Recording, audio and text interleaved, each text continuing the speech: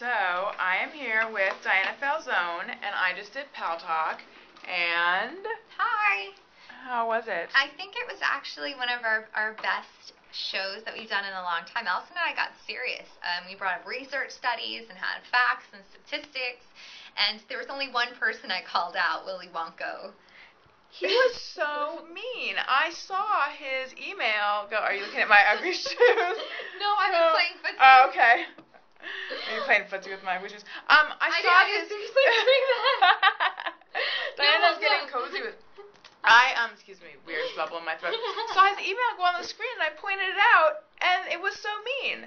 Tell them about it. Oh yeah, the guy wrote us and uh, said that Alison and I are divas Uh-huh. and pseudo intellectuals. And prima donnas. Oh, and prima donnas. Oh, and what and what makes us think that our opinion is so important and that people care? I ask myself that all the time. Uh, I think that, that that's absolutely true. Um, but everyone's entitled to their own opinion. I just feel like, like I was bringing up in this economic climate, everybody is so depressed, and love and dating should be like a fun topic and should be lighthearted, and instead, like, people are like down with love and let me stab you, and I hate Yeah. that. I just I want people to be cordial to each other, and I think I, I don't know. I'm not really a diva.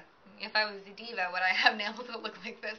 Oh, I've got I've got some nail issues going on as well. But I thought that you put him in his place so well, and you um, threatened him with a dark cloud hanging over him for the like rest of his life, right? It was so good. I'm so. I was good. like, you go, Diana. I was in I was in mom mode, I think, and I've just decided like people are so nasty.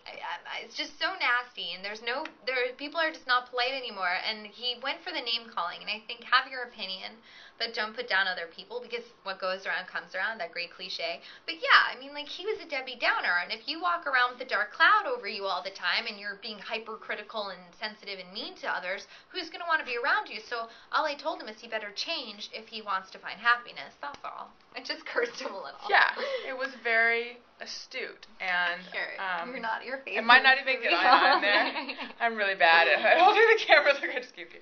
All right, well, so that's what happened this morning, you guys. I think we can turn it off now. We No, I really like it. I can't stop. I'm Oh, obsessed. We could do another one though.